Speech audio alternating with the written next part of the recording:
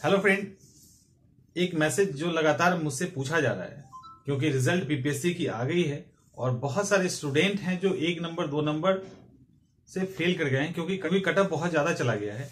इस कारण से बहुत सारे ऐसे स्टूडेंट हैं जो फेल कर गए हैं और अब सीधी बात है कि जब इस लाइन में आए हैं तो गिरना और संभालना चलता रहेगा। तो आगे 65 की भी एग्ज़ाम है। 65 के एग्ज़ाम के लिए एक जो मन में पसोपेश चल रहा था कि क्या सी सेट आएगा कि नहीं, एक तो वैसे ही ई ऑप्शन ने परेशान कर रखा है। ये जो सारा तिक्रमबाजी हो रहा है, जिसको तिक्रमबाजी ही कहेंगे बीपीएससी का, ये ई ऑप्शन के कारण हो रहा है। एक तो उससे अपने डेढ़ सौ क्वेश्चन संभल नहीं रहे हैं। उसके बाद दस से ग्यारह क्वेश्चन उसके बाद जो क्वेश्चन नहीं बन पा रहा, जो रिज़ल्ट आ रहा है वो प्रॉपर नहीं आ रहा। उसके बाद रिवाइज रिज़ल्ट उसके अंदर गलतियाँ। सोचिए क्या मैं बोलूँ, एक स्टूडेंट कितना मेहनत करता है, कितना उम्मीद के साथ, कितनी उम्मीद के साथ तैयारी करता है।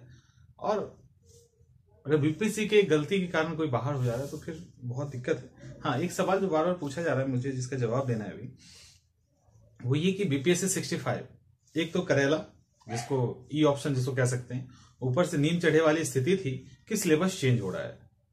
सी सेट आ रहा है, ये हो रहा है निगेटिव मार्किंग हो रही है, बहुत सारी चीज़ें चल रही थी मार्केट में। जो खबर आ रही थी। लेकिन अभी जो रिज़ल्ट आया है, उसके नीचे लास्ट में कॉलम में एक लाइन लिखा हुआ है कि सबके पास रिज़ल्ट होगा ही पीडीएफ का आप वहाँ से देख सकते हैं। ये लिखा हुआ है कि बीपीएससी सिक्सटी फोर्थ की मुख्य परीक्षा के सिलेबस कुछ ऐसे ही लाइन है कि बीपीएससी सिक्सटी फोर्थ की मुख्य परीक्षा के सिलेबस और आगामी परीक्षा की प्रारंभिक और मुख्य परीक्षा के सिलेबस अपलोडेड है, यानी अपलोडेड है। इट मीन्स ये ये दिखा रहा है कि आने वाले जो 65 के एग्ज़ाम है उसके अंदर चेंजेस शायद ना हो। शायद नहीं नहीं होंगे। शायद की बात नहीं करनी चाहिए।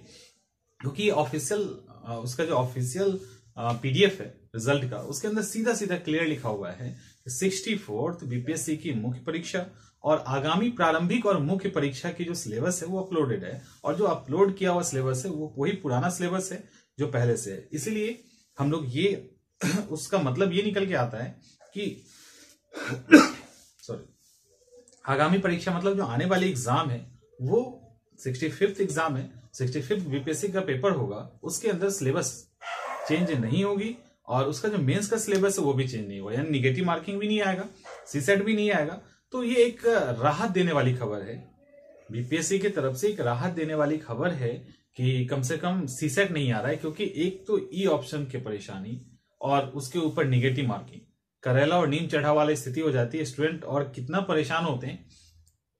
मतलब मुश्किल उसके बारे में अंदाज़ा लगाना भी मुश्किल है। अभी जो दौर चल रही है, उसके अकॉर्डिंग अंदाज़ा लगाना भी काफ़ी मुश्किल काम है। तो ये एक मैसेज था जो मुझे आपको देना था, क्योंकि अब सीधी बात है, जो बाहर हैं, वो अब यही चाह रहे हैं कि आगे क्या। जो भी चीज़ें आ रही है, मेरे पास इमेज या फ़ोन के रूप में वो लगातार ही आता जा रहा है कि सर 65 का सिलेबस का। तो इसी से मैं इसलिए इससे अपडेट कर देना चाह रहा हूँ कि बीपीएससी ने बचा लिया है एटलीस्ट कि 65 में सिलेबस चेंज नहीं होगा। यही अपडेट देना था आपको। और जो ग्रुप बना दिया गया, उस ग्रुप का लिंक मैं नीचे दे दूँगा। जिनको भी रिज़ल्ट को लेकर प्रॉब्लम है, उस ग्रुप को ज्वाइन कर सकते